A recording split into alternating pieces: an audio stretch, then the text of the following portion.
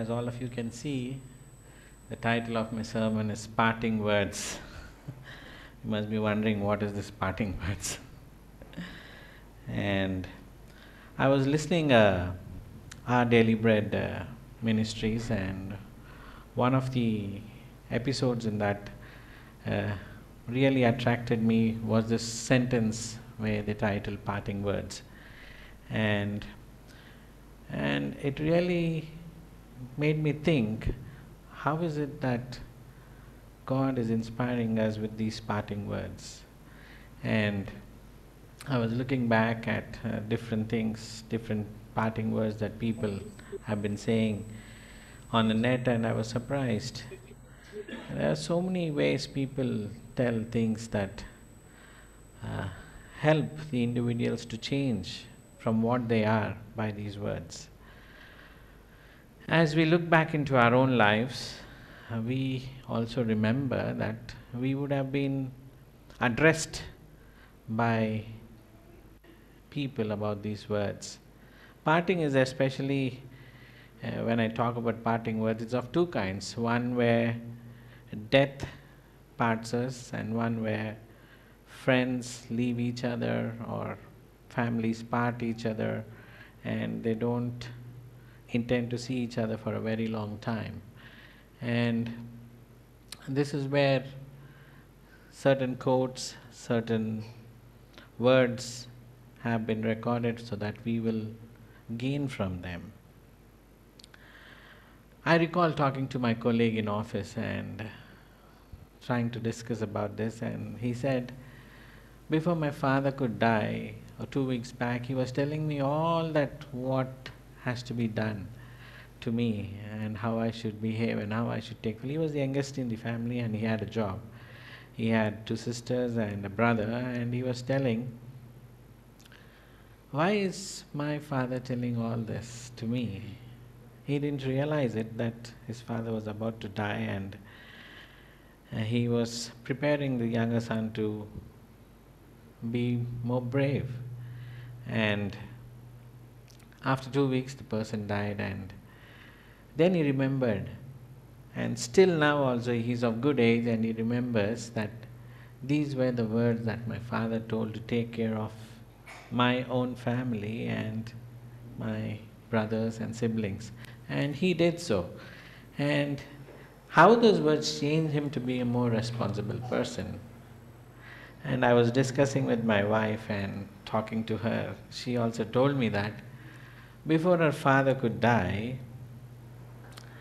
she remembers tell, telling her that there are angels coming to take me. And you know, that still doesn't fade away from the memory, but you know, it's still there in her mind that what, what uh, her father addressed her. Looking at these, and if you are going around onto the net and see what's happening, we could see a lot of people with their various expressions talking about these parting words. For example, let's look at some of the parting words that some famous people have said. Thomas Alva Edison, I guess, he said, It's very beautiful out there. I, I wonder just before his death, what did he see? You know, the beauty of the heaven, what he has been through. He said, It's very beautiful out there.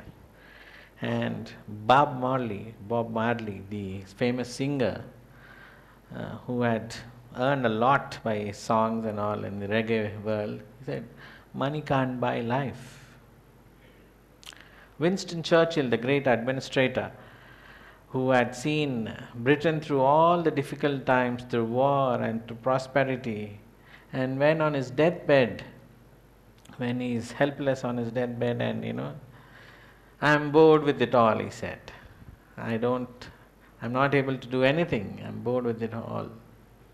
And there was a person remembering her grandfather who died on October 14th, I guess, 2016. She wrote, All I could hear my grandfather says, The horses are ready. I wonder what they're thinking when they are passing away, or you know, maybe God is showing them something. The horses are ready to take me to heaven. So these these are certain phrases that people utter, have uttered. And one more, Jane, I guess, who said when her uncle died, Stop the world, it's my time to get off. Just imagine uh, the world is spinning and you have seen so much in your life and you come to realize that you have to get out of this world and go to a different place where God is calling you or prepare a place for us. Stop the world, it's my time to get off. Shakespeare, in the famous mm, novel that he wrote, Julia, Romeo and Juliet, he said, between two friends or two people who like each other. Parting is such sweet sorrow that I shall say good night till it's till it be morrow. So these are some of the parting words that have been there by some said by some famous people that help us to think back into our own very lives to realize that there are some words that the elders out of their experiences, have told us of how we should live our lives. These words sometimes can be of no use to some people, but to some people it can be like a commandment that will help them change their way of thinking and be more responsible. Mahatma Gandhi, in his autobiography, which he named it as the story of my experiments with truth, Mahatma Gandhi said, I ask him, him, him is the reader, to join with me in prayer to the God of truth that he may grant me a boon of ahimsa in mind, word, and deed. When Mahatma Gandhi wanted to part ways with the reader in that novel, he quoted this to join with me to the God of truth, that he may grant me a boon of ahimsa in mind, word, and deed. And if you can further read on down to the second point there, Martin Luther King Jr. said, Darkness cannot drive out darkness, only light can do that. Hate cannot drive hate, only love can do that quoted by Martin Luther Jr. King. And when people and family are separated for a long time, only in the agony of parting do we look into the depths of love. Only when people part from each other do we realize how much the other person loves me or how much I love the other person. Uh, off late, my daughter's far away from me, and she's off in USA, and she's talking to my wife often, and you know, and she had a dream that I was in a dream, or mom was in a dream, and all. And my wife is telling my daughter, you know, looks like you're missing your dad very much. and that was nice. But when people part, we know what kind of love that we have for them and the depth of love that we have. As George Eliot quoted, you know, the agony of parting, do we look into the depths of love? Similarly, there is one person whose name is John M. Perkins. John M. Perkins was a Christian minister, lived between 1932 2016 and he was advocating racial reconciliation in the US so that people accept each other.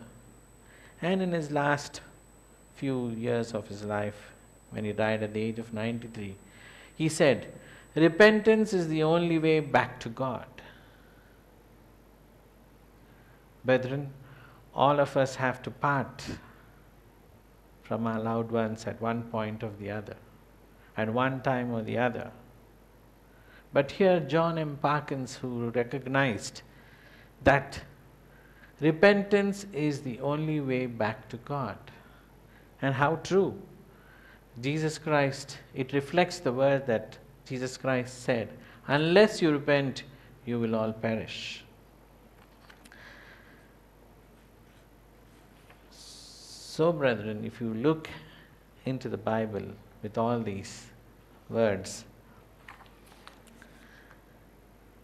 Luke chapter 13, verse 3 says, Unless you repent, you too will perish.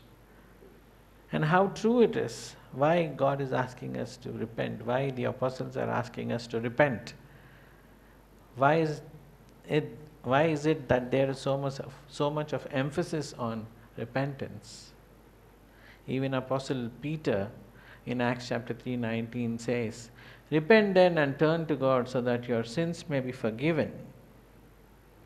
They are focusing on the term of repentance here. Many people who have instructed the children in their lives, who have advised the children or friends and family when they depart or when they are separated, always tell them what has to be done because of the experiences, the difficulties, the trauma, the pain that they go through in their lives. God didn't want us as human beings to go through the same pain that He went through. He wanted that each one of us should be in His kingdom, be with Him, enjoy life to the full with Him. And all through the Bible, if you can read through, you are beginning to understand that God is asking the believer to repent and to draw closer back to Him.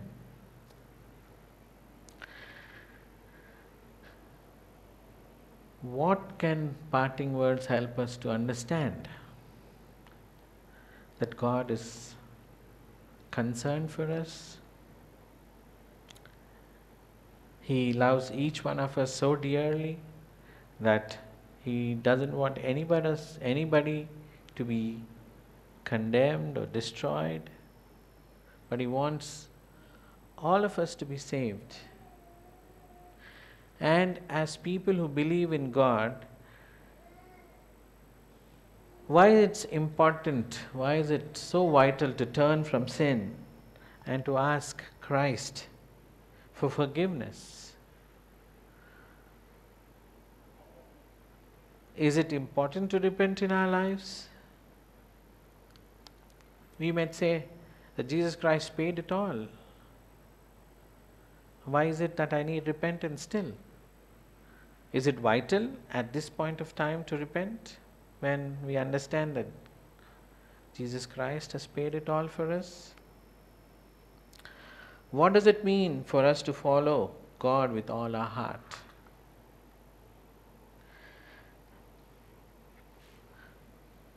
These are some of the questions that that we can look into and ponder upon when we look back into our own lives and understand why we have to heed the warnings, the cautions, the advices that people have given us, advised us, cautioned us so that you know we understand why they are doing it. See, sin is a transgression of God's law.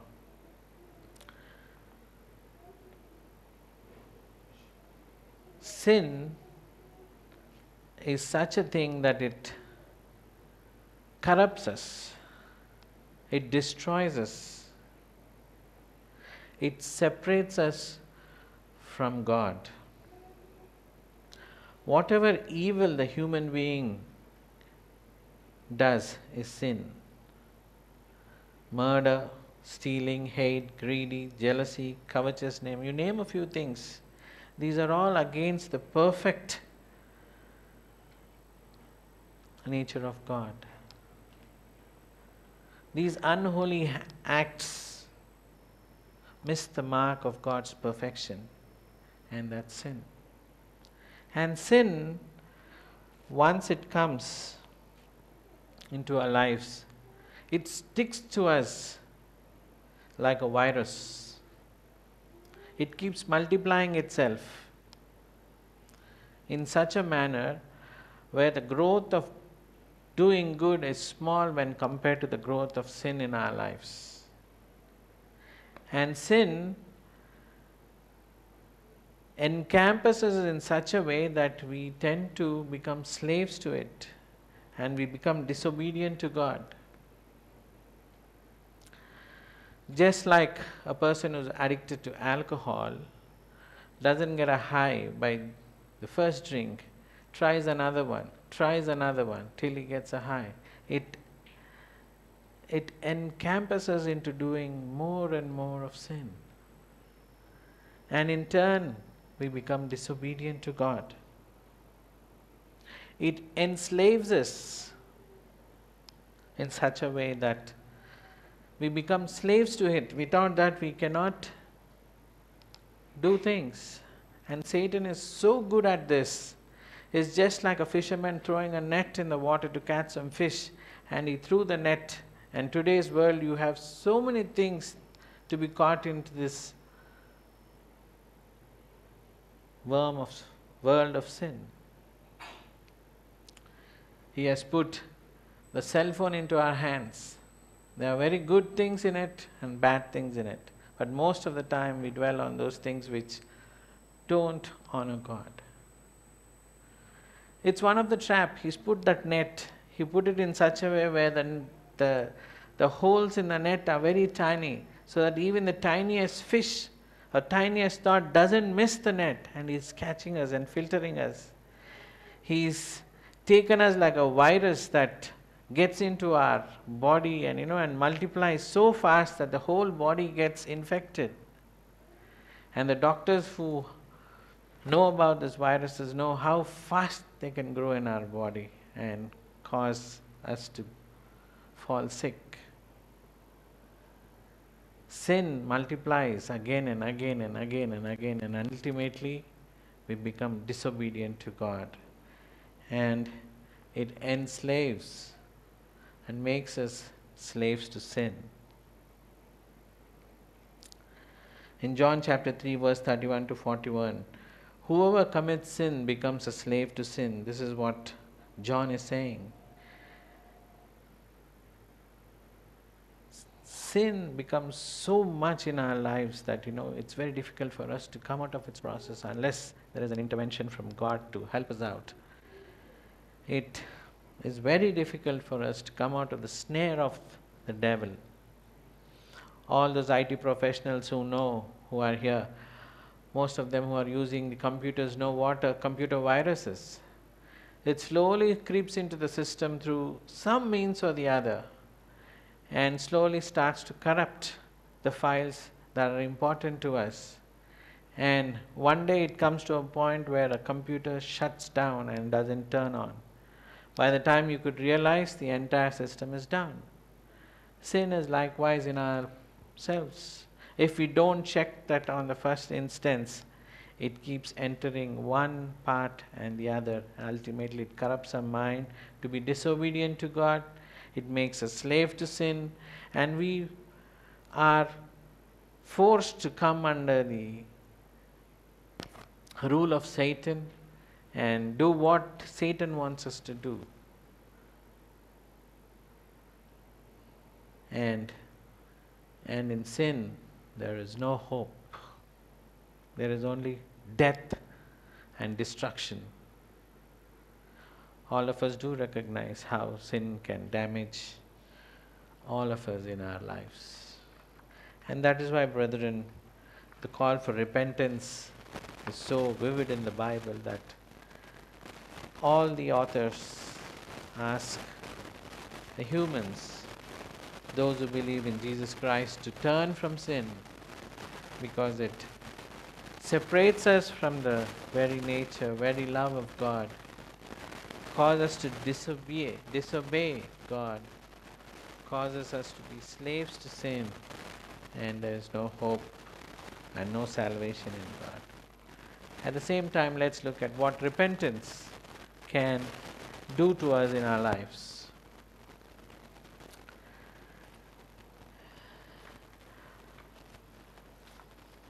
The word repentance has two meanings uh, one a small meaning, and the other one a, a bigger meaning.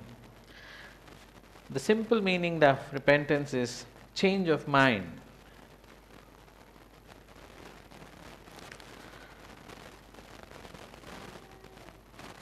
And the larger meaning is there's a Greek word that is used, metanoia. Meta means to take a change, to turn, and nous means involving the mind, intellect, will, frame, and thinking. To be simple, repentance is a change of mind, but when these two words come together as repentance, it makes a lot of sense. It's not just a, a word where we say, Yes, I am sorry, God, for what I have done, but I go back and do the things that what sin has been doing. Being emotionally remorseful, being sorrow without a change in our behavior and attitude is not true repentance. Repentance brings about an about change that thinks intellectually and takes a willful decision in our lives to change from what is wrong and to do what is right as God intended us to do. In Romans chapter 2, verse 4, it reads, or do you despise the riches of his goodness, forbearance, and long suffering, not knowing that the goodness of God leads you to repentance? When we as Christians feel that we have done something wrong and get that thought of repenting of what we have done wrong, we should be glad that God has been working in us his goodness has been working in us because the goodness of God led us to repentance. I was surprised to read this verse. It is the goodness of God that is in my life that has led me to repentance. I thought to myself so long that repentance is something which I do. No, I realize that it is God who has a plan for you, and in His goodness, He has given you the opportunity to repent. So, when we repent, it should not be just superficial, it should be one which involves the heart, one which involves a change, one which is really sorry for what we have done so that our lives change in such a way that we repent and go back to God sincerely. And this repentance should be a response for God helping us to understand that we have done wrong.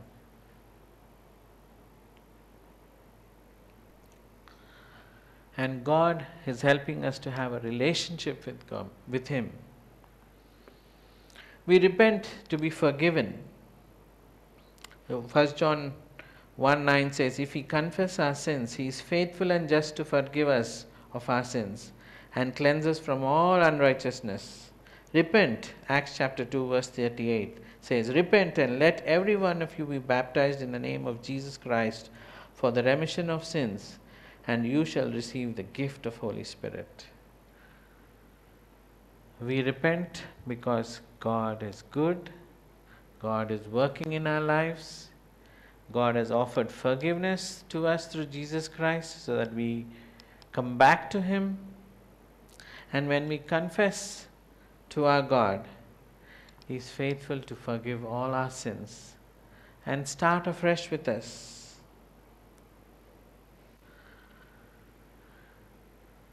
Repentance should be a response from our heart for what God has done in our lives. And God is faithful to forgive all our sins. We want to repent because we want to have a relationship with God.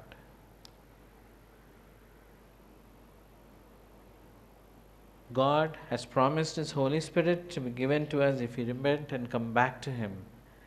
God doesn't want, intend any one of us to perish, but He wants each one of us to have a life that is full in Him. Each and every person is very precious to God. He doesn't want anybody to be left out in His kingdom. He wants each and every one of it. So He is giving us an opportunity as children of God to repent, to draw back, and come closer to Him and establish a relationship with Him.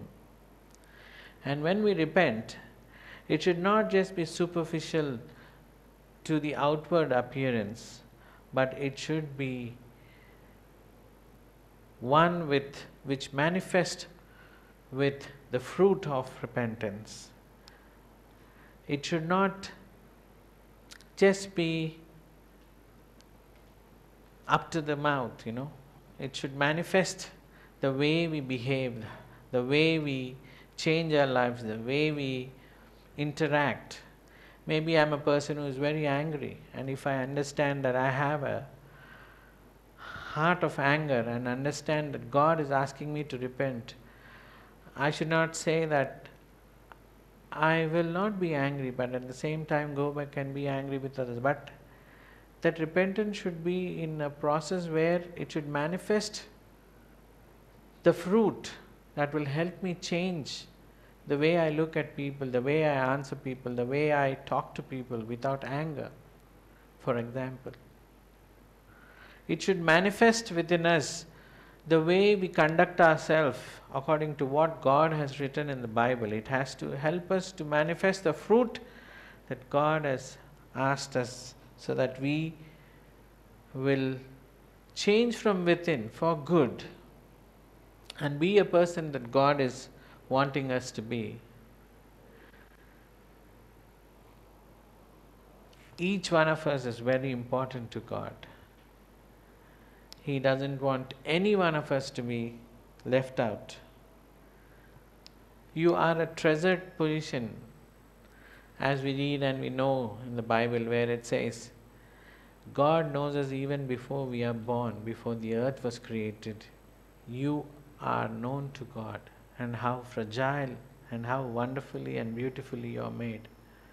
But we have this nature, the humanness in us, where we sin and are separated from God. And God is giving us an opportunity back again to draw back, draw us back to Him through the way of repentance and through Jesus Christ. In Deuteronomy 14:2 he says, Out of all the people on the earth, on the face of the earth, the Lord has chosen you to be his treasured position, a treasured position. Which means each and every person that has lived on this earth is valued by God. He doesn't want anybody to be lost. He wants each and every person to be saved, to enjoy His fellowship, enjoy His goodness, enjoy a rich and abundant life with Him. But are we willing to participate in this opportunity that God has given to us? Let's introspect ourselves, brethren, and see how God is leading us to understand that God is calling us for the time that we have on this earth is very short. And in this short time, we should begin to understand that God is willing to work with us in our own very situation, in our own way, so that we are with Him. He helps us cope our difficulties and draw closer to Him. You and I know how powerful our God is. He made the heavens and the earth just by the word. Before the flood, just by a word, the earth was completely destroyed. And after that, the human race again came. And don't underestimate the power of God. If He wants to, He can just, by a word, completely change the entire world. But He is giving us an opportunity so that we who trust in God draw closer to Him and change our ways so that God can work through us and make us into individuals that He wants us to. In closing, brethren, 2 Peter 3 9 says, For your sake, that is for our sake, God is patient. He does not want anyone to be destroyed, but wants everyone to repent. God is patient with each one of us. He is willing to work with each one of us in our own very circumstances and mold us, fashion us, make us into shining gems, just like a worker who polishes a stone and makes it shining. Each one of you are a treasured possession of God. So, brethren, I urge you this morning to draw back to God, identify the areas of sin in our lives, the attitudes, the actions that are against God, and recognize these shortcomings and ask God to help you respond and to repent of those and be forgiven of the sins that we have done. Just like the parting words of Samuel that has been read to us by Hasini, Samuel said to the Israelites, Don't fear, don't fear, do not fear. You have done all this wickedness, yet do not turn aside from following the Lord, but serve the Lord with all your heart. Only fear the Lord and serve Him in truth with all your heart and consider what great things He has done for you. God has done very great things in our lives.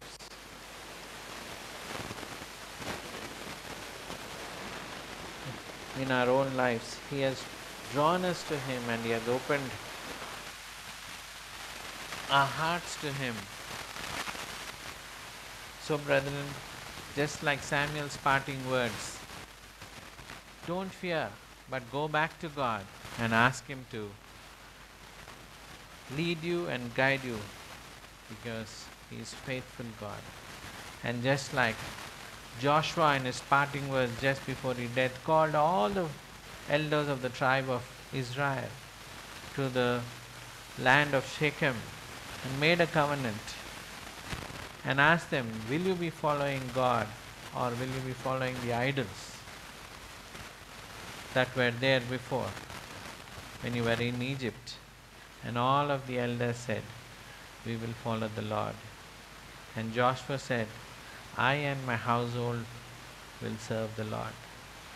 Let's take advice from the parting words of people and from the words of the apostles and the authors of the Bible and turn to God and ask God to help us renew ourselves back to Him and enjoy a life filled with Holy Spirit by God's grace and be become gems and lights to Him.